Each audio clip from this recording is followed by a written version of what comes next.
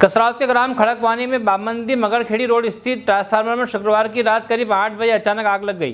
Transformer में लगातार oil गिरने से आग बढ़ती गई। ग्रामीणों ने तत्काल बिजली कंपनी कर्मचारियों को सूचना दी इसके बाद भी गाँव में बिजली सप्लाई चलता रहा। कसरावा से अकील खान की रिपोर्ट।